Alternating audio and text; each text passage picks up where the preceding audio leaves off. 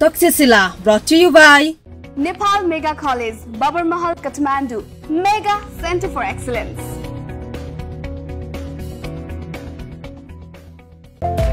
Admission open for Science, Management, Humanities. Jaya Multiple Campus. Gokarneswar Art, Makalbari, Kathmandu. पुर्याइदेऊ हरदम हरपल चौबिसै घन्टा हामी तपाईँको सेवामा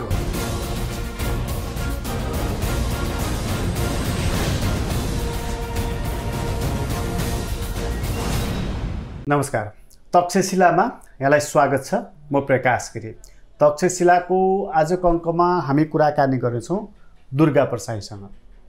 पेसाले व्यवसायी अनि बिस्तारै राजनीतिमा प्रवेश गर्दै गरेको मानिस।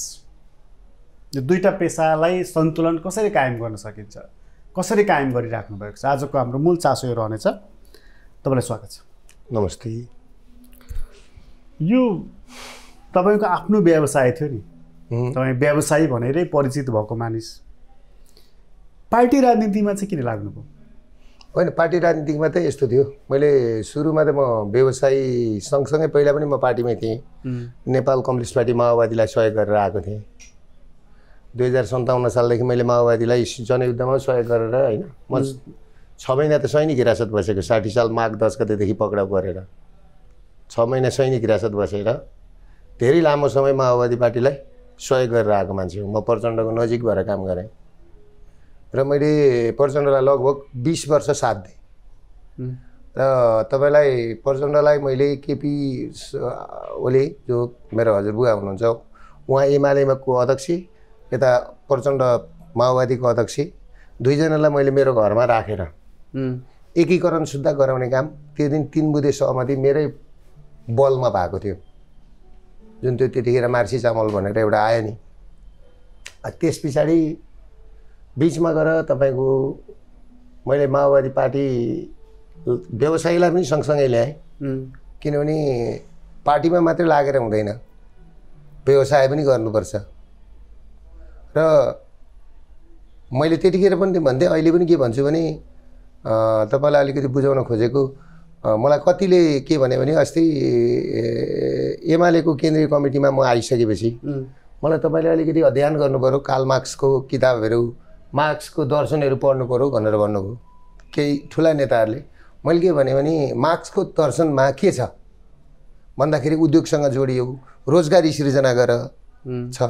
म त पन्ध्र वर्षदेखि नै रोजगारी सृजना गरेर आएको छु। म उद्योगसँग जोडिएको छु उत्पादनसँग जोडिएको छु। मैले आज पाँच हजार मान्छेलाई रोजगारी सृजना गरेको छु। त मैले किन किताब पढ्नु पऱ्यो तपाईँहरूले रोजगारी सृजना गर्नु भएको छैन। तपाईँहरू पढ्नुहोस्। मेरो त्यही मलाई त चाहियो भने मेरो स्टाफहरूले पढ्छ। मलाई सुनाउँछ सर्ट सर्ट कुराहरू। कुरा भन्दा होइन? मैले त आफै सृजना गरेको छु नि त। जस्तो अहिले मैले पाँच हजार मान्छेलाई रोजगारी पाँच छ हजार होला लगभग रोजगारी सृजना गरेको छु। त्यसले गर्दाखेरि अब तपाईँलाई म एउटा कुरा के भन्छु भने पोलिटिक्समा पनि र यसलाई पनि आफ्नो म्यानेजरियल पार्ट हो क्या त्यो चाहिँ। यो तपाईँ राजनीतिबाट व्यवसायमा आउनुभयो कि व्यवसायबाट राजनीतिमा? व्यवसायबाट म राजनीतिकमा आएँ। व्यावसायिक मान्छे प्रोफेसनल व्यावसायिक नै भइरहँदा राम्रो होइन र? होइन होइन। अहिलेको कन्डिसनमा के भयो भन्दाखेरि एउटा व्यवसायी मान्छे जस्तो मैले जस्तो तपाईँले के बुझ्नुहोस् भने एउटा व्यवसायी थिएँ नि त ट्रम्प ट्रम्पलाई असफल भनेर भन्छन्। ट्रम्पलाई म असफल भन्दिनँ। किनभने ट्रम्पको पालामा ट्रम्प सफल व्यक्ति हो। फेरि पनि ट्रम्प अमेरिकाको राष्ट्रपति भएर आउँछ। किनभने ट्रम्पले तपाईँको लाई म एउटा कुरा के भन्छ ऊ व्यवसायिक थियो व्यापारी थियो। उसलाई सबै कुरा थाहा थियो। उसले उत्तर कोरियाको किम उलसँग पनि मिल्यो भेट्यो। भेट्यो। सबैलाई ब्यालेन्समा राखेको थियो। रसियालाई पनि ब्यालेन्समा राखेको थियो। सबै देशलाई ब्यालेन्समा राखेको थियो नि। आज ट्रम्पले छोड्ने बित्तिकै हेर्नुहोस् के हालत भएको छ अमेरिकाको। युक्रेनको के हालत भयो? रसिया कहाँ छ? त्यसले गर्दाखेरि एउटा व्यावसायिक मान्छेलाई हेर्नुहोस् लोन लिँदादेखि काम गर्दादेखि हरेक कुराको दुःख दुःख सुख कुरा सबै कुरा थाहा हुन्छ। त्यसले गर्दाखेरि व्यावसायिक मान्छे राजनीतिकमा आउँदाखेरि सबैजनालाई सजिलो हुन्छ। व्यवसायमा अप्ठ्यारो परेपछि पोलिसी निर्माण गर्दाखेरि त्यहाँ इन्टरभेन्ट गर्छु भनेर राजनीतिमा आउनुभयो? अ, अब इन्टरभेन्ट त हामीले गर्नै पर्छ। किनभने आजभन्दा आठ वर्षदेखि मैले कक्षा कराइरहेको थिएँ चिच्याइरहेको थिएँ। सायद तपाईँहरूले पनि सुन्नुभयो होला। मैले के भनिरहेको थिएँ भने एक दिन देश टाट पल्टिन्छ। एक दिन देश टाट पल्टिन्छ भनेर भन्दाखेरि कसरी पल्टिन्छ भने आज पल्टियो नि त। आज ब्याङ्कमा लिक्विडिटी छैन। आज तपाईँको जग्गा धितो राखेर पैसा पाइँदैन। सुन धितो राखेर पैसा पाइँदैन। गाडीमा धितो राखेर पैसा पाइँदैन। होइन? यो स्थिति कसरी सिर्जना भयो भन्दाखेरि जो बे जुन मन्त्रीहरू आए जो मान्छेहरू आए तपाईँलाई म एउटा सिम्पल कुरा भन्छु। रोल्पामा पढाउँदै गरेको मास्टर जनयुद्ध हाँकेर आएर तपाईँले अर्थ मन्त्रालय देशको अर्थ मन्त्रालय चलाउँदाखेरि त हामीले आश गर्ने योभन्दा ठुलो त आश के गर्नु त हामीले? तर तर तपाईँहरूले एउटा कुरो के बुझ्नु पऱ्यो भनेदेखि आम पब्लिकले दुर्गा प्रसादलाई एकपल्ट अर्थ मन्त्रालय दिनुहोस् त। चौबिस घन्टामा मान्छेलाई एउटा आशाको किरण दिन्छ क्या? गर्ने रहेछ भनेर किनभने हामीसँग भिजन छ। पैसालाई कसरी मोबिलाइज गर्ने? रोजगारी कसरी सिर्जना गर्ने? आफ्नो पैसा आफ्नै देशमा कसरी राख्ने? तपाईँसँग तपाईँले झन्डै झन्डै बिस वर्ष प्रचण्डलाई साथ दिनुभयो। तपाईँसँग भिजन छ भन्ने कुरा प्रचण्डलाई थाहा भइदिए भए जनार्दनको ठाउँमा तपाईँलाई नै उनले राख्थे होला होइन त्यहाँ चाहिँ के भयो भन्दाखेरि प्रचण्डलाई प्रचण्डले पत्याएनन्। प्रचण्डले पत्याएनन्। तपाईँलाई? अँ प्रचण्डले नपत्याउनुको कारण आज तपाईँलाई एउटा कुरो के छ भने मैले पूर्व मैले थामिदिएको थियो। पत्रिकामा पनि आयो मैले माओवादी पार्टी छोडिसकेपछि। मैले प्रचण्डलाई छोड्नुको कारण चाहिँ के हो भन्दाखेरि त्यो कारण पनि भन्नु पऱ्यो नि। जतिखेर मैले प्रचण्डलाई कम्युनिस्ट एक हुनुपर्छ भनेर मैले एक गराएँ केपी ओलीज्यू र उहाँलाई। त्यस पछाडि उहाँहरूको जुन चरित्र देखियो र सत्र हजार मान्छेको रगतले लतपतिएको हो नि त जनयुद्ध भनेको त एउटा सम्पत्ति हो माओवादी पार्टीको। जनयुद्ध भनेको सम्पत्ति हो। कुरा बुझ्नु भएन त्यो जनयुद्ध लगेर शेरबहादुर देउबाको पाउमा चढाएर मन्त्रीसँग साट्नुभयो क्या? र गठबन्धनको नाटक गर्नुभयो। हिजो वर्ग शत्रु भनेर चाहिँ नि जो शेरबहादुर देउबा दुई हजार बाहन्न सालमा अहिले पो गठबन्धन गरेर शेरबहादुर देवासँग सरकारमा जानुभयो त। तर तपाईँले प्रचण्डलाई त त्योभन्दा पहिल्यै छाड्नु भएको हो नि? होइन मैले पहिला छाडेको होइन। म तपाईँलाई भन्दैछु नि प्रचण्डलाई मैले छाडेको कतिखेर हो भने जब उहाँहरू मैले कतिखेर छु भनेदेखि केपी ओलीको जन्मदिन थियो। हो। त्यो दिन संसद विघटन हुँदै थियो। त्यो दिनसम्म म प्रचण्डसँगै थिएँ। र मैले अन्तिमचोटि मैले के प्रचण्ड र माधव कुमार नेपाल चितवन जानु हुँदै थियो। लड्डु खाएको दिन है लड्डु खाएको दिन। तपाईँलाई म सम्झाउँदैछु। अदालतले फैसला फैसला। गरेको दिन। मैले के भनेको थिएँ भने कि एयरपोर्टमा आएर उहाँहरू चितवन जानु हुँदै थियो। हाम्रो माधव कुमार नेपाल प्रचण्ड। हुनुहुन्थ्यो एयरपोर्टमा। भिआइपीमा मैले आएर बसेर केपी ओलीको जन्मदिन हो। तपाईँले हलो भन्नुहोस् न जन्मदिनको शुभकामना दिनुहोस्। भोलि त तपाईँले त्यो मौका पाउनु हुँदैन। कमसेकम अझै पनि म बिग्रेको छैन। एक भएर जाउँ भनेर भन्दाखेरि होइन। मिलुन् भन्ने चाहनुहुन्थ्यो। मिलुन् भन्ने चाहन्थेँ। कम्युनिस्ट एक हुनुपर्छ भन्ने चाहन्थेँ। तर उहाँहरू जब तपाईँको चाहिँ नि उहाँले फोन गर्न मान्नु भएन संसद अहिले ऊ हुन्छ। स्थापना हुन्छ। स्थापना। अनि त्यस पछाडि कुरा गरौँला ओलीसँग भन्नुभयो। अनि मलाई पनि नराम्रो लाग्यो क्या।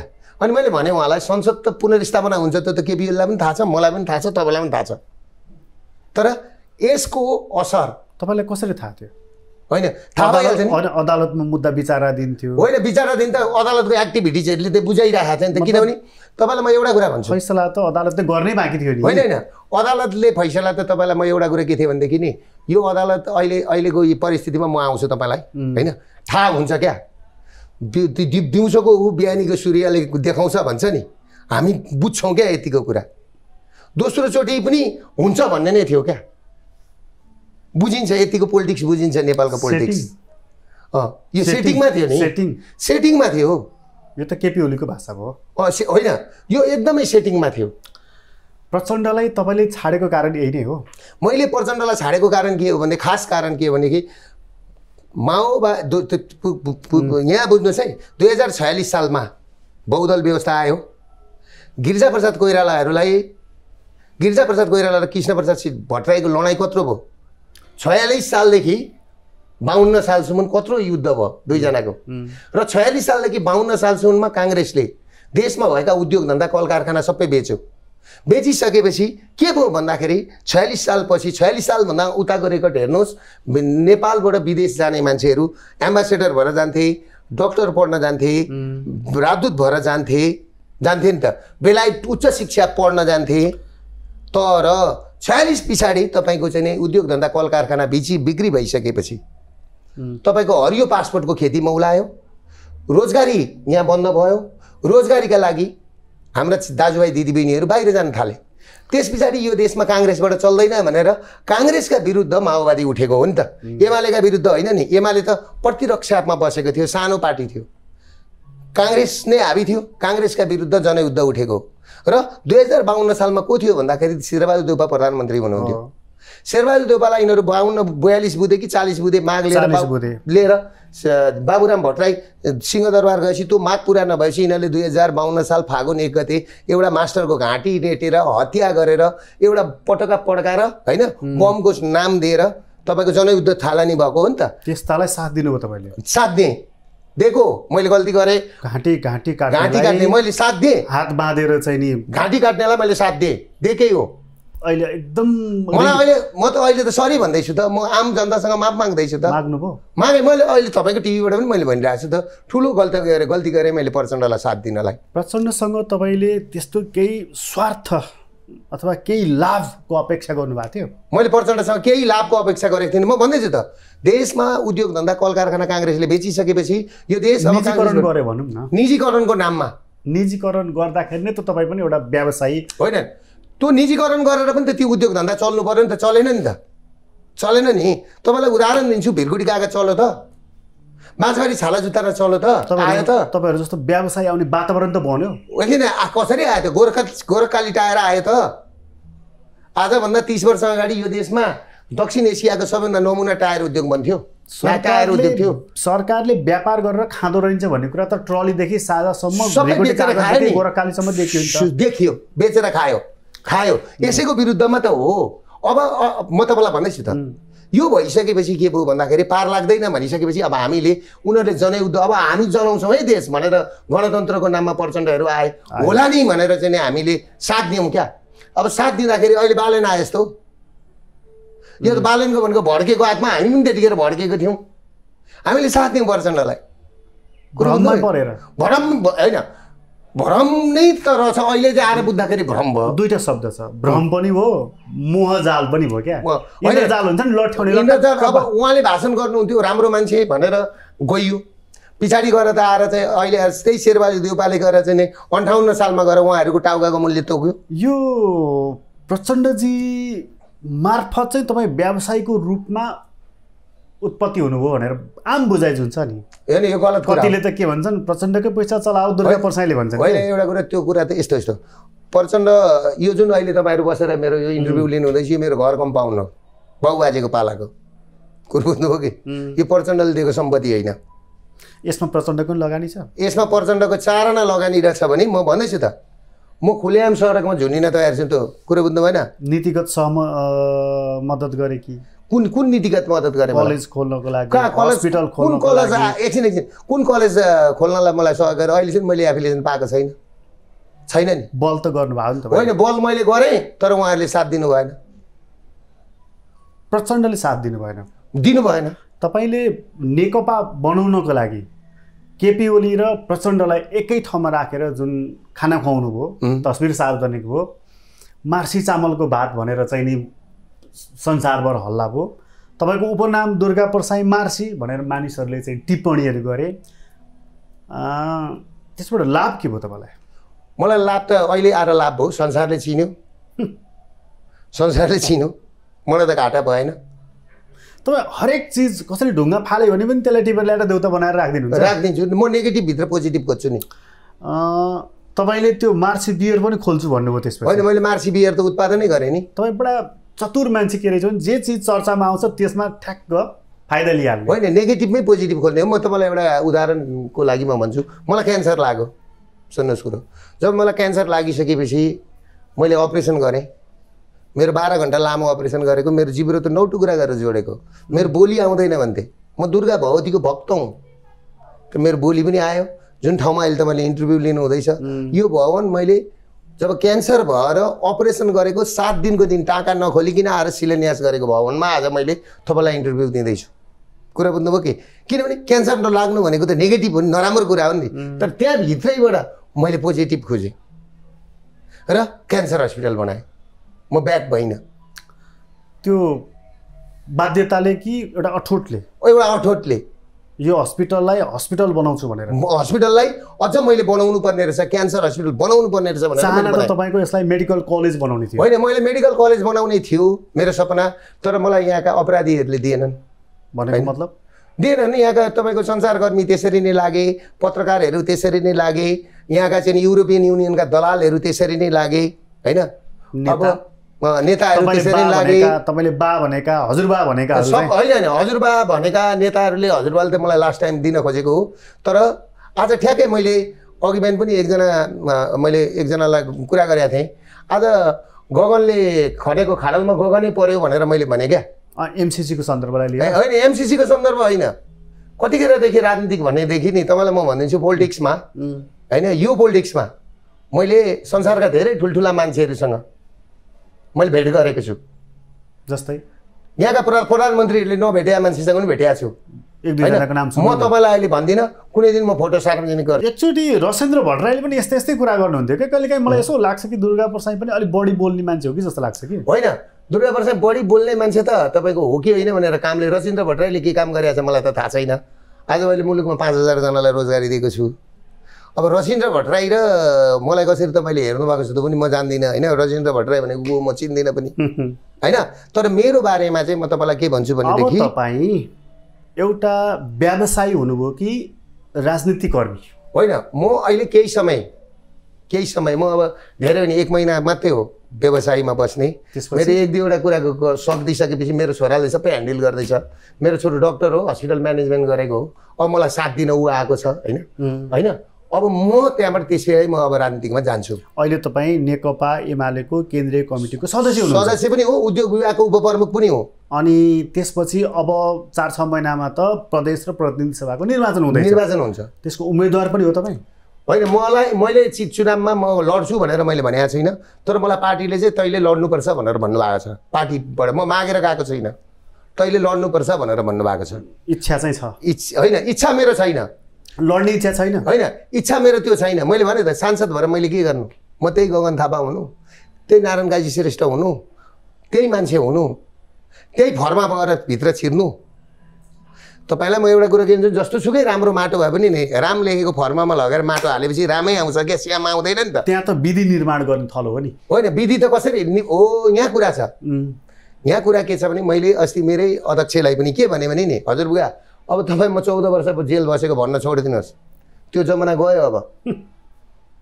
रिसाउनु भएन तपाईँले त्यसो भन्दा? मसँग रिसाएर के हुन्छ त? म फ्याक्ट कुरो गर्ने मलाई फ्याक्ट कुरो गर्ने मान्छे मनपर्छ नि। म के तेल लगाउन जाउँ यसरी?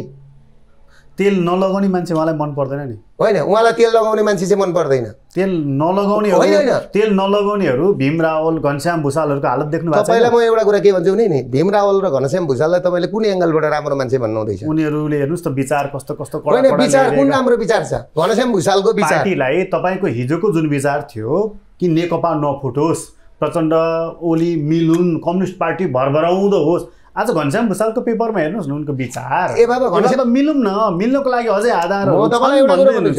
घनश्याम भूषाल भनेको कुन मान्छे हुनु नि? घनश्याम भूषाललाई मैले भने त तपाईँ काल मार्क्स हुनुहुँदो रहेछ तपाईँ किताब लेख्नुहोस् है तपाईँले लेख्नुपर्छ। खड्गेन्द्र सङ्ग्रौला लेख्ने हो लेख्नुपर्छ। तपाईँहरू जन्मिँदै नेगेटिभ तरिकाले जन्मिनु भएको छ तपाईँको दिमाग।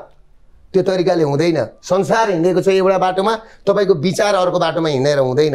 अब विचारले दिँदैन काल मार्क्सको विचार सिद्धान्त एक जमानामा थियो। अहिले विज्ञानको विचार हो। विकासको विचार हो। कुरा बुझ्नु भएन? विज्ञानको विचार हो विकासको विचार हो। घनश्याम भूषालको विचारलाई तपाईँ विचार मान्नुहुन्न? म मान्दिनँ। त्यो अक्सिजनको सिलिन्डर होइन नेकपा एमाले होइन होइन। होइन होइन होइन। घनश्याम भूषाललाई म एउटा कुरो भन्दैछु त। घनश्याम भूषालले आज कतिजना मान्छेलाई रोजगारी दिनुभएको छ? म त राजनीतिक कर्मी हो नि होइन। मैले भन्न खोजेको जस्तो नि- व्यवसाय होइन होइन तपाईँले एउटा कुरो कि पहिला नि त्यो कुरो जान्नु पऱ्यो नि त। बिहाको गाईलाई मात्रै थाहा हुन्छ नि नबिहाको गाईलाई थाहा हुँदैन क्या? कुरा भन्दा होइन सिद्धान्तले नि चिउरा भिज्दैन क्या। कि त दही नै चाहिन्छ कि पानी नै चाहिन्छ? उहाँ नेकपा एमाले फुटाउने को हो? को नेकपा फुटाउने मान्छे। प्रचण्डजी ओली भन्नुहुन्छ? होइन होइन। माधव नेपाल होइन होइन। माधव कुमार ने- झलनाथ खनाल ओली भन्नुहुन्छ? ए बाबा म तपाईँलाई एउटा कुरो भनिदिउँ आज। केपी ओलीको किडनी फेरिनु नै र केपी ओली हस्पिटलबाट बाँच्नु नै र घर जानु नै माधव कुमार नेपाल र प्रचण्डको टाउको दुखाइ भयो। यो मान्छे त अब झन् बाँच्ने रहेछ। अझै दस वर्ष हाम्रो पालो नआउने रहेछ अनि हामी त बुढा हुने रहेछौँ भन्ने केपी ओली बाँच्नु नै एउटा पार्टी फुट्नु हो। दोस्रो पार्टी फुटाउनलाई मल हाल्ने मान्छे को हो भन्दाखेरि भीम रावल र घनश्याम भूषाल हुन्। दस भाइहरूले नि संसदमा सबै कुरा पुऱ्याएर शेरबहादुर देउपालाई सबै पुग्छ भनेर जिम्मा लगाएर निस्केर हिँडे होइनन् निस्किएर हिँडे हुन् कि होइन? आफ्नो प्रधानमन्त्रीलाई भुइँमा झारेर सबै कुरा गरेर अनि उहाँहरूलाई अलिकति अप्ठ्यारो लाग्दैन। फेरि त्यही पार्टीमा आएर घिचिर घिचिर मैले त अस्ति के हजुरबुवालाई केपिओलाई के भनेको तपाईँलाई थाहा छ किन तपाईँ यो रोग राखिराख्नुहुन्छ? क्यान्सर। यार क्यान्सर इज क्यान्सर? काटेर फ्याँक्नुहोस् कि रेडिएसन दिनुहोस् कि केमो दिएर नि प्यारालाइसिस गरेर राख्नुहोस्। तिनवटा कुरा हो क्यान्सरलाई। कि काटेर फ्याँक्नु पऱ्यो मैले भने त द- एउटा बाउका दसजना सन्तान छन् म तपाईँलाई भन्छु अलिकति। रावल घनश्याम भूषाल अष्टलक्ष्मीहरू क्यान्सर हुन्। अष्टलक्ष्मीको कुरा छोडिदिनु न तपाईँ। दुईजनाको कुरा? दुईजनाकै कुरामा म तपाईँलाई भन्छु त। म अहिले के भन्दैछु भन्दाखेरि उहाँको म तपाईँलाई भन्दैछु।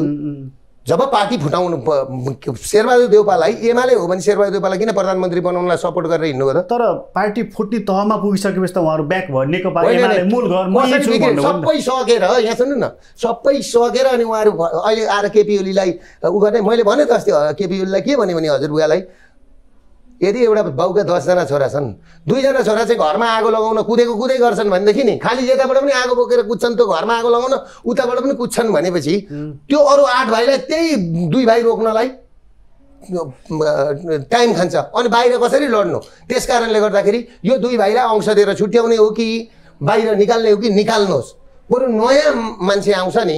उहाँले के भन्नुभयो? भनेर भन् होइन उहाँले यो कुरा तपाईँको कुरा ठिक हो भन्नु। कुरै त्यही हो नि। तपाईँले नि तपाईँको घरमा त्यो समस्या आयो तपाईँको वाइफसँग तपाईँको दिनैपिछे झगडा भयो कुरो मिलेन भने नि तपाईँले के गर्नुहुन्छ भने डिभोर्स अंश बन्डा के गर्नुहुन्छ त अरू? अरू गर्नुहुन्छ कि? तपाईँ अगाडि बढ्न सक्नुहुन्छ। घनश्याम भूषालको प्रस्तावमा तपाईँलाई नराम्रो चाहिँ के लाग्यो? होइन घरसेम भुषालले के भन्नुहुन्छ तपाईँलाई थाहा छ? अहिले के भन्नुहुन्छ भने। मैले अस्ति उहाँको दस्तावेज पढेको। मिलौँ। मिल्ने आधार भनेको गठबन्धन हो त्यसपछि पार्टीको एकता हो। गठबन्धन गरेपछि एकताको लागि वातावरण बन्छ। उहाँ त्यो भन्दै हुनुहुन्छ। त्यो त तपाईँकै लाइन भयो नि। होइन होइन।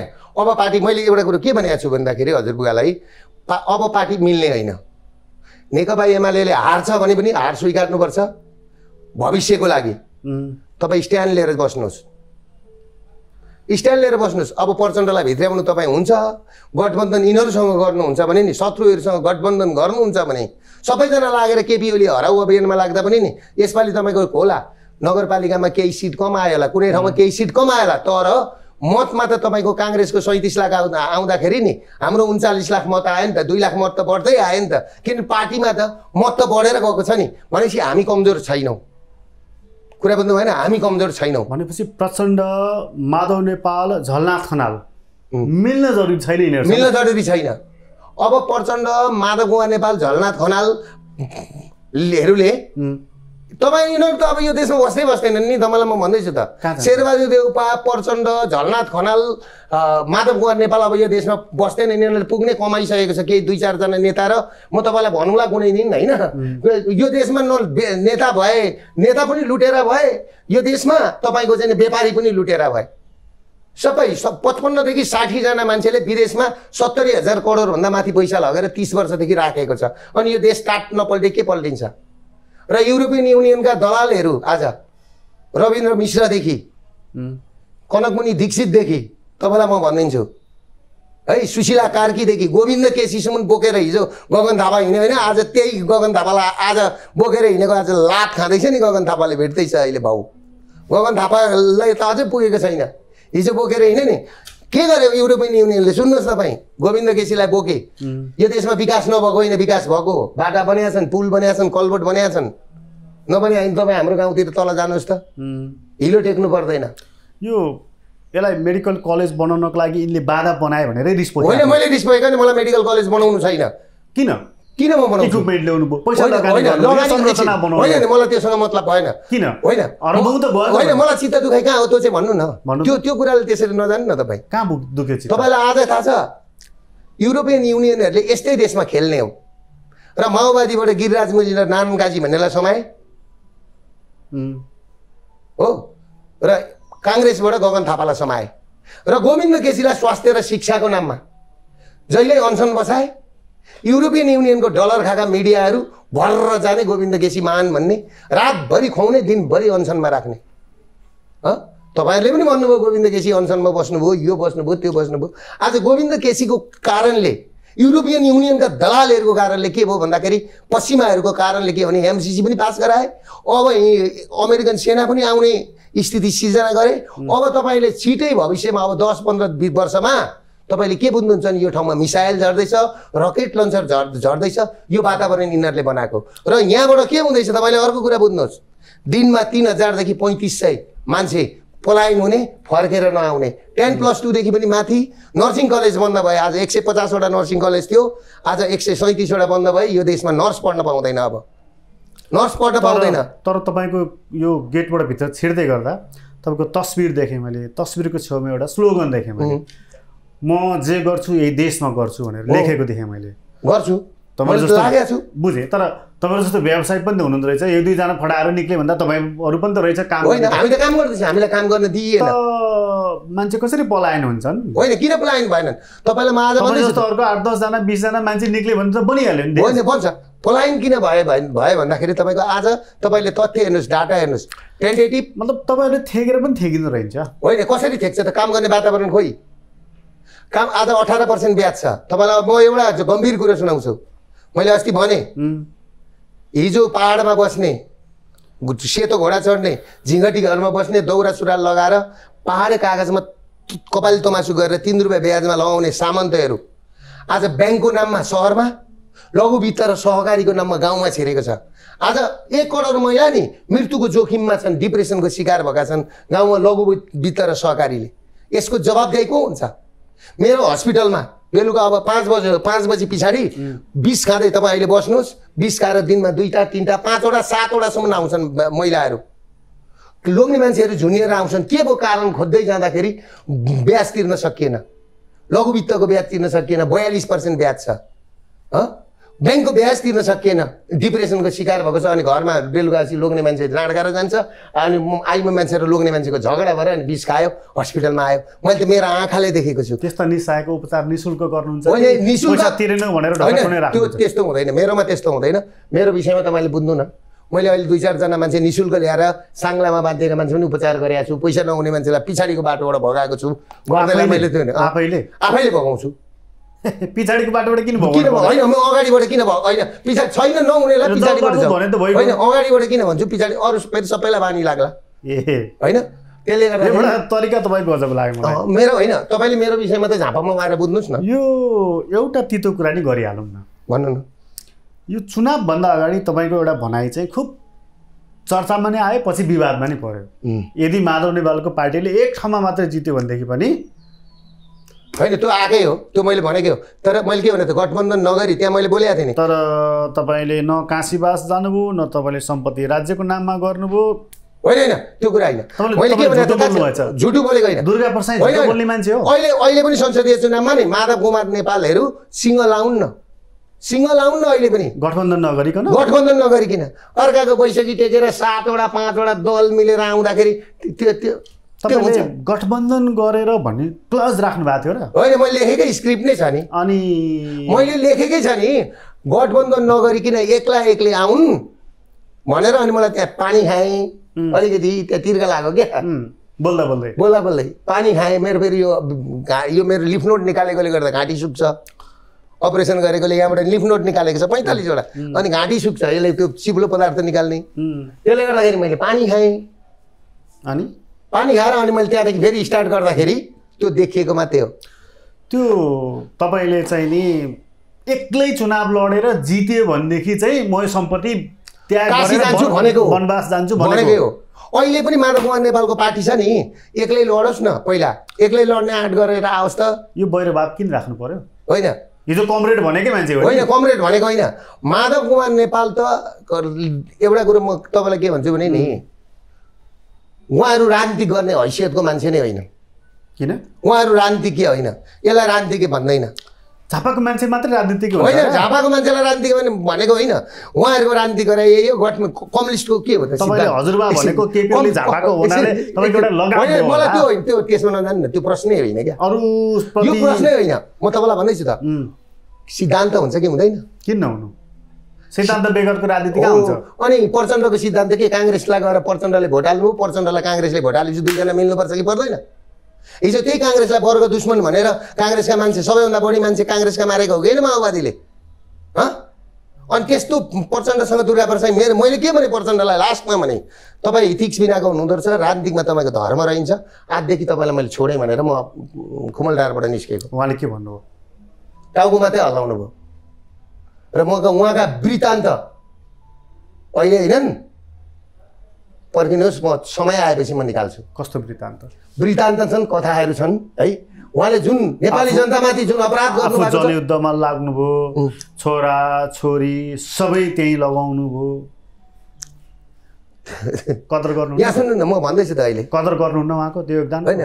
योगदानको कदर अरूले विदेश पढाए आफ्ना छोराछोरी। उहाँलाई त त्यही बन्दुक बोकाएर हिँडाउनु नि होइन होइन। तपाईँलाई म एउटा कुरा के भन्छु भने नि के छ कसो छ भोलि पर्सि भन्छु। उहाँका नातिनीहरू कुन लन्डनमा कुन कलेजमा पढ्दैछन्? उहाँका नातिहरू कहाँ पढ्दैछन्? हँ? जनताका छोरालाई बुर्जुवा शिक्षा भनेर बन्दुक बोकाउने हँ? आफ्ना नाति नातिना आफ्ना छोराछोरी तपाईँको चाहिँ कलेजमा राम्रा राम्रा कलेजमा पढाउने हँ?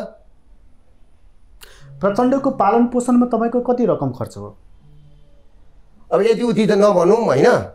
मैले पार्टीमा झन्डै तिसदेखि चालिस करोड रुपियाँ लगानी गरेँ। पार्टीमा लगानी गरेँ। बिस वर्षको दौरानमा। दौडानमा गरेँ। तपाईँसँग त्यत्रो पैसा चाहिँ? मेरो पैसा त अब तपाईँलाई त्यो पैसाको त्यो तपाईँले स्रोत खोज नखोज्नुहोस् न। तपाईँले स्रोत खोज्नुहुन्छ भने कति लगानी गर्दै हुनुहुन्छ होइन केपी मैले पार्टीमा त लगानी गरिरहेको छु। अहिले म मेरो पार्टीमा लागेपछि मेरो महिनाको तिस चालिस लाख रुपियाँ सकिएको छ। पर महिना सकिएको हरेक महिना? हरेक महिना खर्च भएको छ। यो के दान दिनुहुन्छ कि? दान होइन मैले त तपाईँको दानै लेबी तिर्नु भएको कि? लेबी तिरेको होइन साथीभाइहरू आउँछन् उ हुन्छ। अहिले पाँचवटा स्कुल बनाउँदैछु मस्जिद बनाउँदैछु मदरसा बनाउँदैछु। त्यो त तपाईँको खर्च भयो। होइन, खर्च- तपाईँको सामाजिक काम सामाजिक काममा पनि लागेको छु। तर- साथीहरू आउँछन् मोटरसाइकलमा तेल छैन भन्छन् ऊ छैन भन्छन् खाने खर्च छैन भन्छन् होइन? सबै आफै गरिदिन्छु साथीहरूलाई। तर म नमाग भन्छु तिमीहरू। चन्दा नउठाऊ। अहिले यसपालि झापामा चन्दै उठाएन भोट उ गर्दाखेरि। नउठाऊ चन्दा नउठाऊ यो अब जुन चुनाव आउँदैछ त्यसमा तपाईँहरूले गठबन्धन गर्नु भएन भने मतलब नेकपा एमाले भने निश्चित छ नि हार होइन र? हार होस् न त के यसका बावजुद पनि त काङ्ग्रेससँग एकछिन म गएर काङ्ग्रेससँग मिल्नु। किन? म कसरी कम्युनिस्ट भएँ त? म गएर काङ्ग्रेससँग मिल्नु म कसरी कम्युनिस्ट भएँ त? मैले काङ्ग्रेसको भोट कसरी लिनु? म त गर्दिनँ। म बरु चुनावै लड्दिनँ। मैले त भनिसकेँ त अस्ति। छोडिदिनुहोस् हजुरबा योपल्ट सानै हुँ। तपाईँहरूको चुनाव चिन्ह अरूलाई दान दिन मिल्ने अरूसँग भोट लिन नमिल्ने के होइन। हामीले एक सय चुनाव चिन्ह हामीले दान दिउँ। कमल थापालाई दिउँ। अघिल्लोचोटि हृदय त्रिपाठीलाई पनि दिनुभयो होइन, दिउँ। अहिले सांसदै हुनुहुन्छ। होइन हुनुभयो। अब होइन यही पोलिटिक्सले त आज यो स्थिति आएको हो। सुरुवात यही पोलिटिक्सले बालिनेहरू जन्मेको। यही सुरुवात त नेकपा एमाले नै गर्यो होइन एमाले गर्यो अनि त्यही चुनाव चिन्ह राप्रपा नेपाललाई दिँदा भीमरावले के भने भने ए बाबा यो हाम्रो त्यस्तो चुनाव चिन्ह दान दिने चुनाव चिन्ह हो सुर्रे। यो पेटी ठेकदार बनाउने हो र। भन्दा भीमराव नराम्रो तपाईँलाई म तपाईँ यहाँ आउनुहोस् अब। यही जे पाए त्यही गरेकोले गर्दाखेरि सबै पार्टीले यसले के चिज उत्पन्न गर्यो तपाईँलाई थाहा छ? के चिज उत्पादन गर्यो भन्दाखेरि बालनहरू स्वतन्त्र उम्मेदवारहरू बाटोमा चिच्याउनेहरू कराउनेहरू निकाल्यो क्या? कुरा बुझ्नुभयो? बौलाउनेहरू उफ्रिनेहरू निकाल्यो नि। खराब देख्नुहुन्छ यसमा? अँ, निकाल्यो नि त। मान्छेले अप्सन पाए नि त। उनीहरूले मौका दिएर हो तपाईँको यही छिमेकमा हर्क राईले जिते काठमाडौँमा। बालनले जिते। जिते त। त्यसको मैले भने त भड्केको आत्माहरू हो क्या। भड्केको आत्माहरूको भोट गएको हामी असफल भएको हो भने। बालनले राम्रो काम गरेर बालनले जितेको होइन नि? अब गर्छन् नि। हर्क सामाङले राम्रो काम गरेर हर्क सामाङले भोट जितेको होइन पानी पानी। भन्दैछन् बिचरा। होइन पानी भन्दैछन् ऊ आफू मुगानमा जान्छन् आफूले घुमाएर हुँदैन नि त। हुन्छ। पानी ल्याइदिएस त भइगयो। होइन पानी ल्याइदिएर भएन नि त। तिन वर्षभित्र पानी ल्याएर धरानवासीलाई खुवाउँछु। तपाईँलाई म भन्दैछु त ल्या त कृष्णप्रसाद भट्टराईको पालामा काठमाडौँमा पानी ल्याएको होइन। सेतो हात्ती भएन आज मेलम्ची। भयो कि भएन। त्यो पानी खान पाउनुहुन्छ तपाईँहरूले? हो यस्तो काम गर्ने हुने यिनीहरू। बालेनलाई पनि तपाईँ भट्केको आत्मा भन्दै हुनुहुन्छ मैले बालनलाई भड्केको आत्मा भने होइन।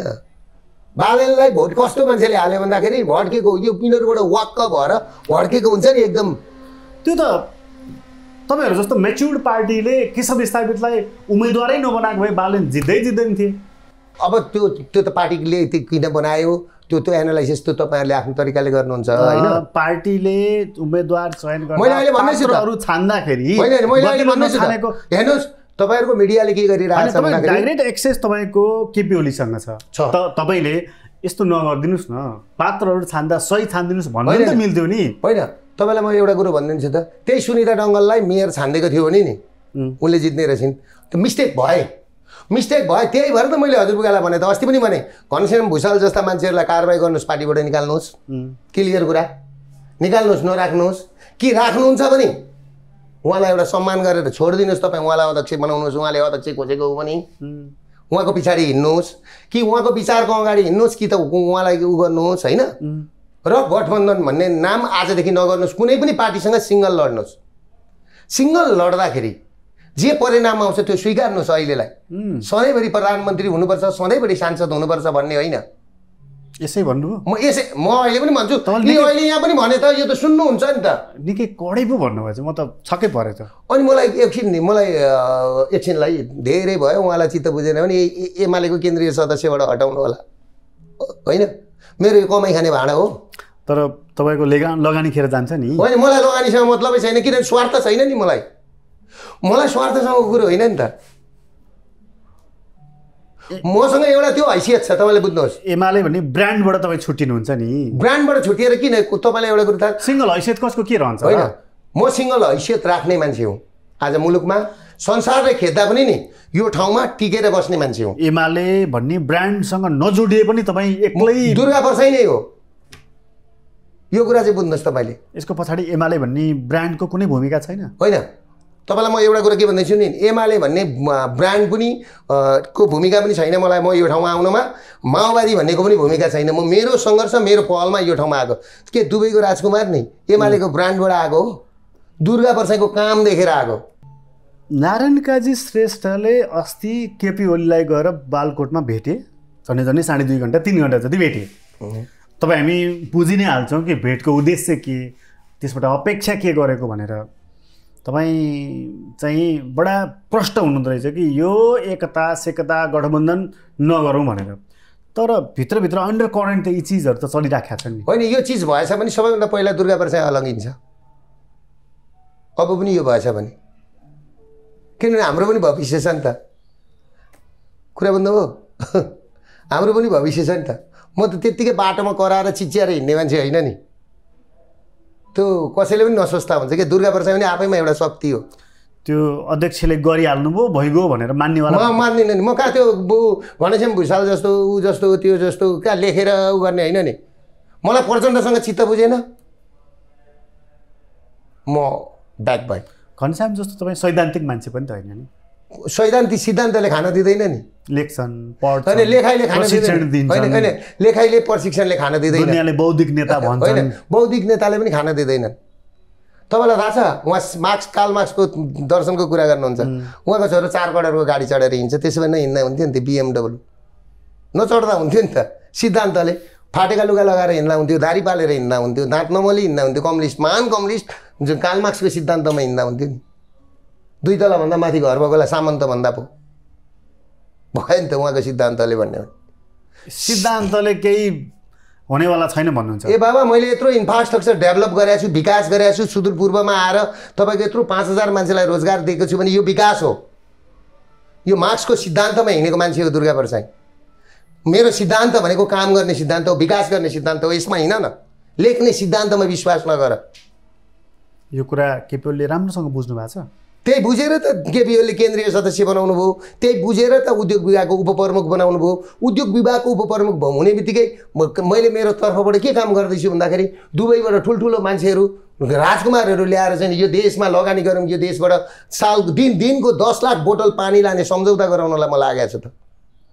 त्यो हो नि त काम भनेको। गर्दो रहेछ त एउटा एउटा व्यक्तिले पनि चाहँदा हुँदो रहेछ त त्यहाँको राज परिवारहरूसँग अब यस पछाडि मेरो साउदी अरबको बिन उसँग भेट हुँदैछ त्यहाँको राज राजासँग। त्यहाँको राजकुमारसँग। हुँदो रहेछ त। तिमीसँग भेटेर के गर्ने? सम्झौता गर्छु यहाँबाट पानी पठाउँछु यहाँबाट गर्नै सक्ने उ गर्छु। तेल देऊ मलाई एउटा चाहिँ नि उसमा तिमीले। भन्न सक्छु। त्यो म मेरो कुरा राख्न सक्छु नि। मलाई पचास लाख देऊ भनेर म जान्न नि त। मेरो ऋण तिर्देऊ म म भन्दिनँ। मेरो देशमा विकास गर- गर्नलाई म खाकाहरू तयार गर्छु? पार्टीको संलग्नता भएपछि कैयौँ व्यवसायीहरूले सरकारसँग मिलेर ऋण मिनाहा गराउने सस्तोमा लोन मिलाउने यस्तो यस्तो अनेक अनेक काम गर्ने भन्सारका दरहरू तल बितल पार्ने गर्छन् भन्छन्। मिडियाभरि आइरहेको हुन्छ बौद्धिक जगतभरि छलफल भइरहेको हुन्छ। तपाईँ पनि यस्तो कर्ममा लाग्नुहुन्छ? म त लागेको छैन मलाई त थाहा पनि छैन होइन?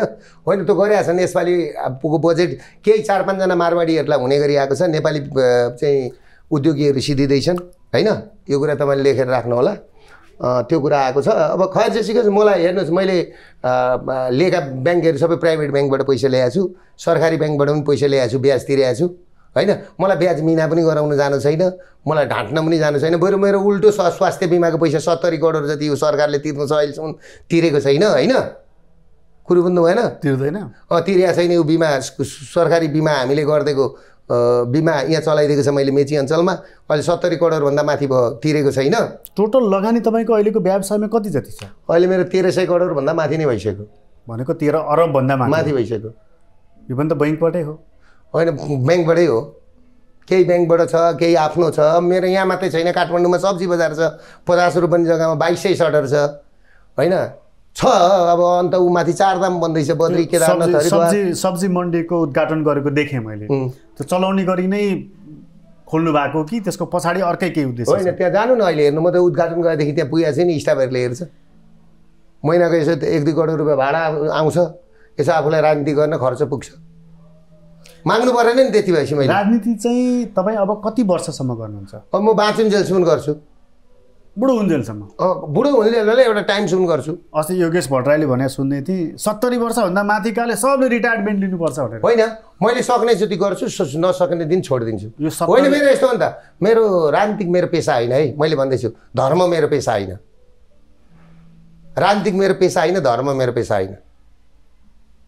धर्मको नाममा राजनीति चाहिँ म। गर्दिनँ। यो सत्तरी वर्षको एज बार चाहिँ तपाईँलाई कति चित्त बुझिएको छ? होइन यस्तो छ गर्न सक्ने मान्छेले हेर्नुहोस् राम्रो मान्छेले सत्तरी वर्ष असी वर्ष पनि गर्छ। जस्तो अहिले पुलिसहरूलाई लगाइदिएको छ नि पचास तिस वर्ष। तिस वर्ष भनेपछि पचास वर्षमै रिटायर हुन्छ नि त्यो राज्यलाई ठुलो घाटा हो नि त। साठी वर्षसम्म उनीहरूलाई काम लाउन सकिन्थ्यो नि त। हो कि होइन? यस्ता कुरामा राज्य चुकेको छ। होइन? अब राजनीतिक चाहिँ सत्तरी वर्ष असी वर्ष नब्बे वर्षसम्म गर्दा हुन्छ। काम गर्ने मान्छेलाई चाहिँ तपाईँको बेलैमा निकालेको छ होइन। त्यसले गर्दाखेरि तपाईँ के बुझ्नुहोस् भने कुराहरू यो मिलाउन जानेको छैन क्या? मलाई एउटा कुरा चाहिँ यो अलिकति अर्को साइडबाट कुरा गर्नु एउटा व्यवसायको रूपमा कुरा गर्ने हो भने तपाईँ अहिले मेरो अगाडि हुनुहुन्छ त्यसकारण म तपाईँलाई प्रश्न गर्दैछु। तर आम रूपमा चाहिँ आम रूपमा व्यवसायहरूलाई हाम्रो समाजले कसरी हेर्छ? हाम्रो समाजले चाहिँ कसरी हेर्छ भने यहाँ यस्तो बनाएको छ क्या। तपाईँले के बुझ्नु भने उद्योग धन्दा कल कारखाना खोल्ने मान्छे चाहिँ माफिया हो। सामन्त हो। सामन्त हो भन्ने शोषक हो। भन्ने बनाएको छ। त्यो कसले बनाएको भन्दाखेरि नि? फेरि त्यो शोषक हो सामन्त हो भन्ने छ नि। कुरो बुझ्नुभयो कि? त्यसले चाहिँ केही गरेको हुँदैन नि फेरि। उसले चाहिँ केही गरेको हुँदैन। भनेपछि गर्ने मान्छे शोषक हो कि सामन्त हो कि नगर्ने मान्छे शोषक र सामन्त हो? किन त व्यापारी उद्यमी तपाईँ भन्नुहुन्छ तपाईँ नै भन्नुहुन्छ पाँच हजार मान्छेलाई रोजगारी दिएको तपाईँलाई त सम्मान गर्नुपर्ने हो। अथवा तपाईँ जस्ता अरू उद्यमीहरू व्यवसायलाई तर दुर्गा पर्छ ए मान्छेले कहाँ के गर्छ के बदमासी गरेछ यो मान्छेको यो किन भन्छन् त? होइन त भन्न दिनु न। भन्न दिनु न। लाग्छ राति तपाईँ मलाई लाग्छ। मैले के गरेको छु त? मलाई लाग्छ त। माफिया दुर्गा प्रसाई भन्छन् ऊ मेरो माफिया ब्रान्डको हुस्की आउँदैछ फ्याक्ट्री बन्दैछ। मार्सी मार्सी दुर्गा प्रसाई भन्छन्। माफिया ब्रान्डको बियर आउँदैछ। मेडिकल कलेज खोल्न दिएनन्। के के फरक पर्यो त? मतलब यस्तो कुराले चिन्ता लाग्दैन। लाग्दैन लाग्दैन। दिक्क लाग्दैन। मलाई त अहिले रमाइलो लाग्छ क्या। किन? मलाई ल होइन मलाई म तपाईँलाई एउटा कुरा भन्छु नि। मैले मेरो देशको जनताको। दिमाग कति रहेछ भन्ने कुरो मैले एजम्सन गरिसकेको छु। कहिले काहीँ यस्तो लाग्दैन। मैले अलिक बढ्ता बोलेर चाहिँ बिग्रिराखेको छु। यो थुतुनो कन्ट्रोल गर्नु पऱ्यो मैले होइन। म मेरै थुतुनुले यो ठाउँमा आएको थुतुनु कन्ट्रोल गरेकाले नि के गरेका छन् भन्नु न त। होइन। राम्रो थुतुनु भएकाले चाहिँ के गरे भन्नुहोस् त? भन्नु न के गरे भन्नुहोस् त? केशव स्थापितले भने नि युआर नाइस लेडी तर थुतुनु ठिक भएन भनेर। होइन। तपाईँलाई उहाँको कुरो ठिक हो नि। त्यो सबै यु त्यो त्यो त्यो विवेकशील साझा पार्टीको केटी हो। युरोपियन युनियनका दलालहरूले प्रश्न गरेको पा मिलिमिली काम गर्ने पाँच पाँच वर्ष अगाडि दस दस वर्ष अगाडि होइन पोहोर र हजुरबाउले घिउ खानुभयो अहिले हात सुङसुङ गनाउँछ भने जस्तो कुरा आएन अहिले। त्यसलाई पनि बलात्कार भनिन्छ। त्यो बलात्कार हो। त्यसो भए यो बलात्कार हो भने नि यो संसारमा नि नाइन्टी फाइभ पर्सेन्ट लोग्ने मान्छे जाकिन्छन् नाइन्टी फाइभ पर्सेन्ट लोग्ने मान्छे जागिन्छन्। सबैभन्दा जाकिने त मिडियाका मान्छे जाकिन्छन् राजनीतिकर्मी राजनीतिकर्मी पनि जाकिन्छन् सबैभन्दा बढी त मिडियाका मान्छे जाकिन्छ मलाई त नेता जाकिन्छ तपाईँको। त्यो अब के कुरा गर्नुहुन्छ? तपाईँहरूको मिडियामा के त्यत्तिकै जागिर खाएका होलान्? हामीले पनि सुनेका छौँ नि कुरो। हामीले नि नेताहरूको सुनेको नि। सोल्टीबाट कसरी केटीहरू भागे? कुनै कुनै मिडियाका चाहिँ नि साउहरूले के गरे? हँ? के मिठो लाग्नु पर्ने होइन उहाँहरूलाई? त्यो त व्यवसायको कुरा भयो नि। होइन। व्यवसायको कुरा आउँदा त तपाईँ पनि जोडिनु भयो। होइन को कसरी बसेको छ होइन? समाचार वाचक वाचिकाको के छ स्ट्याटस मतलब- कस्तो छ भने यहाँ सुन्नु न। मतलब म तपाईँलाई स्पष्ट भन्ने मान्छे हो कि? चाहिँ यो यदि यो मिटुको केस लाग्ने हो भने चाहिँ नेपालमा बुढा खाडा युवा सबै लाग्छन्। सब पर्छन्। सबै पर्छ तपाईँ पनि पर्नुहुन्छ। म पनि पढ्न सक्छु नि। मैले पढ्न सक्दिनँ मैले कहाँ भनेको छु? पढ्न सक्छु नि। उमेरमा के गरियो गरियो नि। पल्सालाई हेर्नुहोस् त मिडियाले बोकेर। तपाईँको कानै राम्रो तपाईँको चस्मै राम्रो भनेर बनाए पहिला पल्सा आउँदाखेरि यस्तो भनेर बनाए आज पल्सालाई लगेर थुनिकिन छाड्यो त्यो पल्साको केसलाई बलात्कार भनिन्छ? तपाईँ मान्नुहुन्छ ल तपाईँको आत्माले मान्छ बलात्कार भनेर। अदालतले भन्ला नि त। होइन अदालतले भन्दा अदालत भन्दा पहिला त पत्रकारले भन्छन् नि त फैसला गर्ने पत्रकार छन् नि पत्रकारले कहाँ फैसला गर्नु किन गरेका छैन? पत्रकारले सबैभन्दा अहिले अप्ठ्यारोमा पारेको अदालतलाई हो। त्यसले गर्दा यो कुरा धेरै बुझिया छ कि? यो यो मुद्दा चाहिँ भनौँ न यो मुद्दा पेचिलो त हो नि त होइन? यसमा त एउटा छलफल गरेर विधि निर्माण गर्ने थलो त संसद हो। यत्रा साढे दुई सय सांसद के हेरेर बसेको छ एकछिन। मन मिलिन्जेलसम्म सबै कुरा हुने। मन नले मिलेपछि बलात्कार हुन्छ। मन मिल्दा चमत्कार मन नमिल्दा बलात्कार भनेर अस्ति एकजना सांसदले भन्दै थिइन्। उहाँको कत्रो खोइरो खनिँदैछ। होइन त्यो खोइरो गरेर हुन्छ। एकछिन एकछिन। यथार्थ त हो नि त। त्यो खोइरो खन्नेले पनि सोध्नु नि। हो कि होइन भनेर। महिलालाई आफैले आफैलाई प्रश्न गर्नु नि। महिलालाई त्यसरी दुर्व्यवहार त गर्न पाइएन नि त। होइन दुर्व्यवहार कसरी गएको एकछिन एकछिन। किन त्यो महिला पनि त उसो पनि जानु होइन? कसैलाई झुक्क्याएर रक्सी खुवाएर नसाको सुरुमा होइन? प्रलोभनमा पारेर। प्रलोभनमा पारेर गरेको छ भने अर्को कुरा हो। जागिर दिन्छु प्रमोसन गराउँछु। गराउँछु भनेर गरेका छ भने अर्को कुरा हो। तर मिलिन्जेलसम्म हुने। अनि त्यहाँबाट नमिलेपछि चाहिँ नै बलात्कार भनेर हालिदिने यस्तो पनि हुन्छ। सबैलाई पर्छ यो कुरा। दिनको पाँचवटा सातवटा दसवटा त आइरहेको छ त बलात्कारको केस। कहिले कहिले हेऱ्यो भन्दाखेरि दुई हजार छ त्रिहत्तर साल माघ पाँच गते फलानु लजमा चाहिँ नि सँगै सुतेको अरे अब अहिले बलात्कार केस छ। के हो यस्तो यो? एमालेको नेताहरूमा थुप्रै केसहरू आइरहेको छ। अस्ति मोहन बानियाको आयो त्योभन्दा अगाडि कसको आयो त्योभन्दा अगाडि कसको एमाले मात्रै होइन काङ्ग्रेस सबैमा आएको छ। माओवादी जम्मैमा आएको छ त। यो कम्युनिस्टहरू त आचरणले पनि शुद्ध हुन्छ भन्छन् नि होइन? आज तिनैमाथि यत्रो धेरै हिलो छापा छ्याप भइरहेको छ। अब यस्तो यस्तो। त्यो चाहिँ तपाईँलाई एउटा कुरो के हो भनेदेखि नि हो यही भएर सिस्टम भएन सबै कुरा नभएको कारणले त यो चिजहरू दूषित चिजहरू चाहिँ जन्मेको हो त आज बजारमा। कुरो बुझ्नु भएन? अब बुझ्छ नि त पर्खिनु न टाट पल्टिँदै जान्छन् मान्छे देश टाट पल्टियो। तपाईँलाई एउटा कुरो के भन्दैछु भने म म पनि एउटा व्यवसायी हुँ होइन? हिजो हामीसँग कति पैसा सजिलो थियो आज अप्ठ्यारो स्थिति छ। हिजो हामीले चाहँदाखेरि मान्छेलाई दुई चार लाख दस लाख रुपियाँ पैसा यतिकै सहयोग गर्न सक्थ्यौँ। आज ब्याङ्कबाट पाँच लाख रुपियाँभन्दा माथिको चेक साटिँदैन। होइन बिस हजारभन्दा माथि पेटी क्यास चलाउन पाउँदैनौँ। यो स्थितिमा पुग्यो ब्याङ्कमा आज तपाईँको चाहिँ नि पैसा छैन होइन? पर्खिँदै जानुहोस् न तपाईँ हेर्दै जानुहोस् न तेलको भाउ दुई सय पुग्यो। हँ? चामलको भाउ कहाँ पुगिसक्यो? के श्रीलङ्काकै पथमा हो नेपाल? श्रीलङ्का भइसक्यो त। अनि तपाईँलाई म भन्दैछु त सत्तरी हजार करोड रुपियाँ पैसा त तिस वर्षदेखि है फेरि। तपाईँको पचपन्नदेखि साठीजना व्यापारी र राजनीतिज्ञको पैसा बाहिर छ। स्विस ब्याङ्कमा भनेर त आयो त। त्यो पनि केपी ओली प्रधानमन्त्री भएको। त्यो साढे तिन वर्षको बिचमा डबल। डब्बर मात्रामा पैसा स्विस ब्याङ्कमा गएको रहेछ। होइन कुरा छ। स्विस ब्याङ्कको पैसाको त म जान्दिनँ होइन। लन्डन र दुबईमा पैसा धेरै गयो। अहिले सबैजना मारवाडीहरू तपाईँलाई एउटा कुरो थाहा छ? यहाँभन्दा सेफ्टी बाहिर भइसक्यो। यो देश जतिखेर पनि डिजास्टर हुन्छ उनीहरू छोडेर जाँदाखेरि उनीहरूलाई केही फरक पर्दैन। तपाईँले पनि पैसा बाहिर राख्नु भएको छ? मैले त पैसा हेर्नुहोस् चार आना पैसा मेरो त गएको देखाउनुहोस् न। मैले कुन हुन्डी हुन्डीवाला पनि चिन्दिनँ। यो दुबई दुबई भन्दै हुनुहुन्छ नि तपाईँ। कारोबार यता गर्ने होइन दुबई कारोबार यस्तो छ। पैसा ट्रान्सफर गर्ने एउटा राजमार्ग होइन। मेरो त त्यहाँको राजकुमारले आएर दुर्गा प्रसादलाई म यहाँबाट लाँदैछु। दुर्गा प्रसादलाई मैले पैसा हालिदिँदैछु भनेर त यहीँ पत्रकारसँग बोल्नुहुन्छ नि। बोल्नुहुन्छ भन्नुहुन्छ। तपाईँलाई यहाँ भित्रका राजनीतिक कर्मी व्यवसायी पत्रकार सत्रकार यिनले मद्दत नगरे पनि फरक नपर्ने भयो त्यसमा। मलाई फरक पर्दैन। म मेरो काममा अडिक छु। म कोहीसँग टेर्दिनँ। म दुर्गा माताको भक्त हुँ। म कसैलाई अपराध गर्न कसैलाई खेलो खैलो म फेसबुकमा म कसैलाई केही लेख्दिनँ। म कसैलाई केही लेख्दिनँ। म कसैलाई केही भन्दिनँ। म आफ्नो काम मात्रै गर्छु। गाली गर्नुहुन्छ नि अरूलाई? होइन मेरो अगाडि पऱ्यो भने गाली गर्छु। मुखै छोडेर? होइन मुख छोडेर होइन राम्रो गरिस् भन्छु। आज बिहान पनि एउटा लाउने मलाई अस्ति फेसबुकमा लेख्दै रहेछ आज उ त्यहाँ भेट भयो। अनि आउनु त यहीँ आउनु पर्दो रहेछ त। फेसबुकमा त धेरै कुरा लेख्दै थियो। आउनु त यहीँ आउनु पर्दो रहेछ। भनेको होइन गल्ती भयो यहाँ त्यहाँ। यो राजनीति शुद्ध हुने देख्नुहुन्छ तपाईँ? यो राजनीति? यो राजनीति जो आए पनि शुद्ध हुँदैन। जो आए पनि। हुँदैन। अहिले भएका शेरबहादुर देउवा पुष्पकमल दाहाल प्रचण्ड केपी शर्मा ओली माधव नेपाल झलनाथ खनालहरूबाट चाहिँ कायाकल्प हुन्छ? कायापलट हुन्छ? हुँदैन हुँदैन। यिनीहरू बदलिएपछि हुन्छ? हुँदैन। तपाईँले एउटा कुरो के भने यो राजनीतिको ट्रेनै अर्को अन्त गइसक्यो। अब यो राजनीतिकले नि तपाईँले एउटा कुरो अब योगेश भट्टराईहरू गगन थापाहरू आएपछि के हुन्छ? हुँदैन हुँदैन। गगनलाई त सकिसक्यो त गगनको त सकियो त लाइफै सकिसक्यो त राजनीतिकै सिद्धिसक्यो त कहाँ? गगनको राजनीति कसरी बाँच्यो भन्नु न? गगन योपल्ट सांसद हुँदैन। हार्छन्। कस्तो खालको कुरा गर्नु गगनलाई किन हार्दैन? गगनलाई त सबै लागेर अहिले हराउँदैछन्। मैले त्यही भएर त गगनले हिजो रवि लामी छानेसँग भेट्नु हुँदैन थियो क्या। रवि लामी छानेको हाइट र गगनको हाइट मिल्छ मिल्दैन नि त राजनीतिक रूपमा।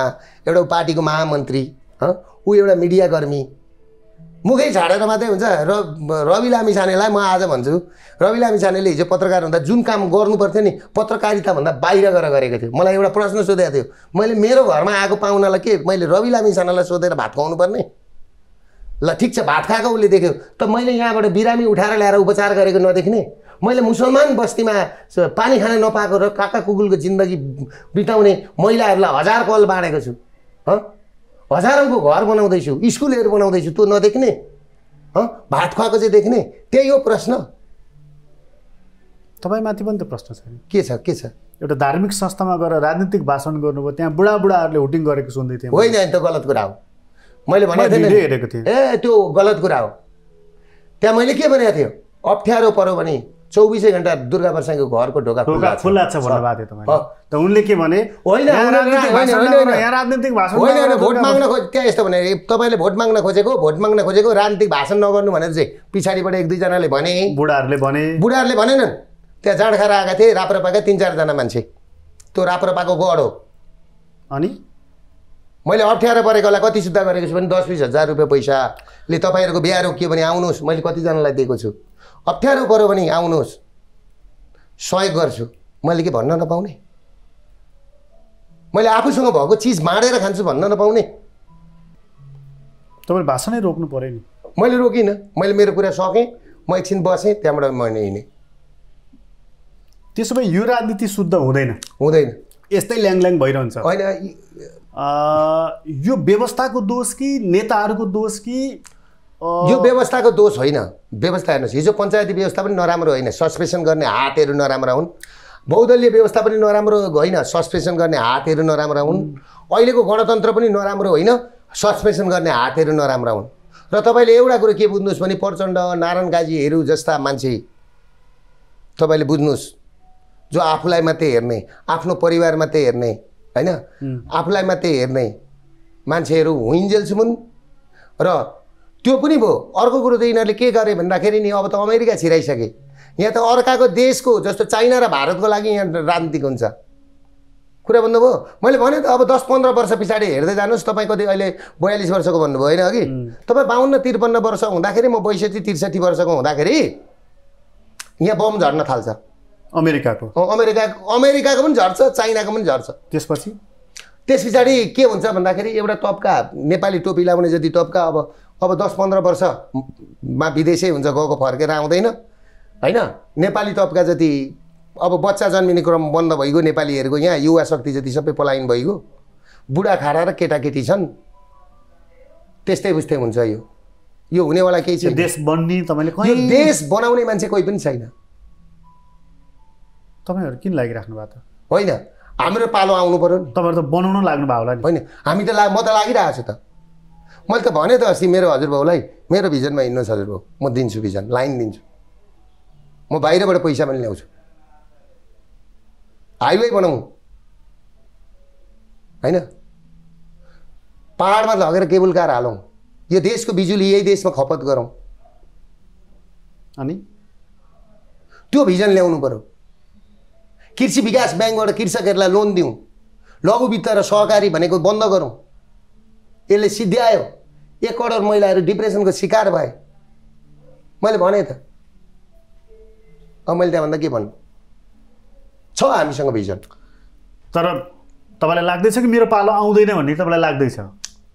मलाई त होइन अब भोलि आउन पनि सक्छ। राम्रो काम गऱ्यो भने स्वर्गीय नजिक हुन्छ। तर आजको मितिमा चाहिँ। म भन्दैछु तपाईँलाई। मेरो आ भगवान् कृष्णले के भन्छ नि यदा यदा धर्मस के भनेको छ नि? जतिखेर करप्सन बढ्छ जतिखेर अन्याय र अत्याचार बढ्छ त्यो कुनै न कुनै रूपमा मेरो जन्म हुन्छ भनेको छ। हुनसक्छ भोलि मेरो पालो पनि आउन सक्छ।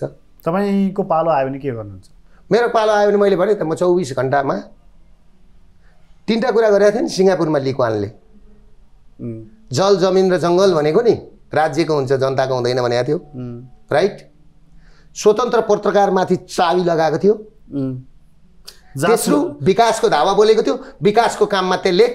भनेर भनेको थियो। जासुसी संस्थाहरूलाई बलियो बनाएको थियो। जासुसी संस्थाहरूलाई बलियो बनाएको थियो।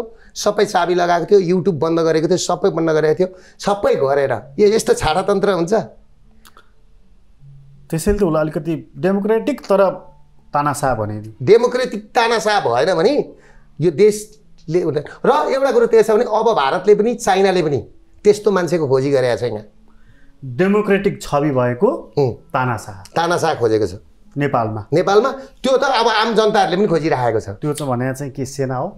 होइन सेना होइन। सेनाले पनि सक्दैन। बालेनहरू हुन्? बालनले पनि सक्दैन। बालनलाई हेर्दै जानु न कस्तो बालन कस्तो हुन्छन्। बालनलाई के चिजले उत्पत्ति गरेको भन्ने कुरो चाहिँ तपाईँ बुझ्नु न पहिला। कसले उत्पत्ति गर्यो? अब तपाईँ बुझ्दै जानुहुन्छ। अहिले तपाईँ भोलि पर्सि हेर्दै जानुहुन्छ नि। मतलब यहाँ एउटा डेमोक्रेटिक छवि भएको तानासा एउटा एक किसिमको जङ्गबहादुर चाहियो यहाँ? हो। तपाईँको दिमागमा कोही त्यस्तो अनुहार छ याद छ? अब त्यो समयले ल्याइहाल्छ नि। त्यसो यी पार्टीहरू किन चाहियो? कोल्याप्स गरिदिउँ। होइन त्यो कोल्याप्स हुने दिन पनि आउँछ। आउँछ। आउँछ। यो कुरा पनि हजुरबुवालाई भनिसक्नुभयो। होइन भनिसकेको छु उहाँ मुस्कुराउनु भयो कि ए दुर्गा पनि के के भन्छ भन्छ होइन होइन। उहाँ सिरियस लिनुहुन्छ। उहाँले सिरियस लिनुभएको छ। अब यो तरिकाले चल्दैन। मैले भने तपाईँहरूको पार्टीमा यो जुन छ नि दस्तावेज आउँछ नि यस्ता दस्तावेज पर्दैन। चारवटा पाँचवटा लाइनमा लेख्नु जिस्ट कुरा। यो गर्ने यो गर्ने यो गर्ने। यो पाँच वर्षमा यो गर्ने यो गर्ने यो गर्ने। उहाँ त आफै एक घन्टा तिन घन्टा भाषण गर्ने पार्टी होइन उहाँले। भाषण गर्नुहुन्छ त राम्रो कुरा गर्नुहुन्छ नि। ज्ञानमा त फेरि उहाँलाई मान्नुपर्छ नि तिन। घन्टा एक्लै। होइन। हरेक कुराले उहाँलाई एउटा कुरो के छ भने उहाँले मामा महाभारत खानुभएको छ रामायण खानुभएको छ गीता खानुभएको छ। गीतामा हरेक कुराको जवाब छ नि फेरि गीतालाई चाहन्छु नि मान नमान्नुहोस् तपाईँ। हरेक सवालको जवाब गीतामा छ।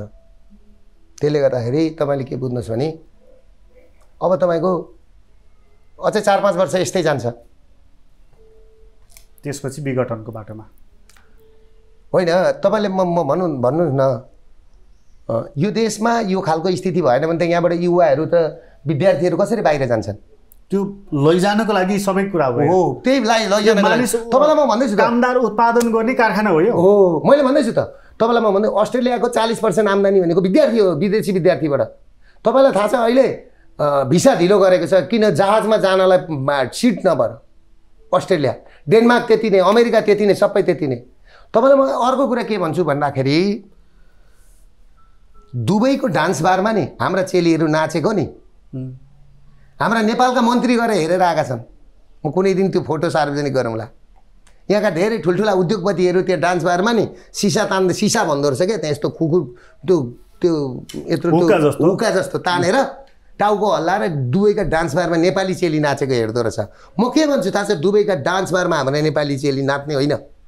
दुबईका हस्पिटलमा हाम्रा चेलीहरू सेतो एप्रोन लगाएर स्टेजको बोकेर बिरामीको सेवा गर्नुपर्छ।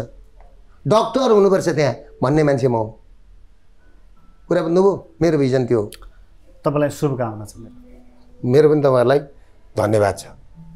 आदरणीय दर्शकबिन तपाईँलाई पनि धन्यवाद। आज हामीले दुर्गा प्रसाईसँग कुराकानी गरेका थियौँ। उहाँसँगको कुराकानीहरूलाई यति नै तक्षशिलाबाट म प्रकाश गिरीलाई बिदा दिनुहोस्। ग्लोबल टेलिभिजन हेर्दै गर्नुहोला। नमस्कार।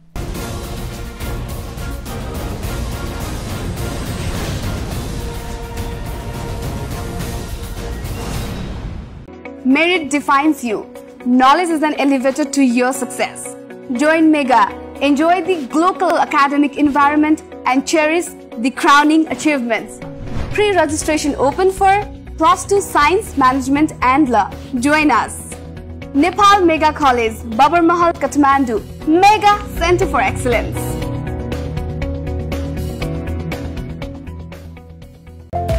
Admission open for Science, management humanities Jaya multiple campus Gokarneshwar आठ Makkalbari Kathmandu phone number nine eight five one two two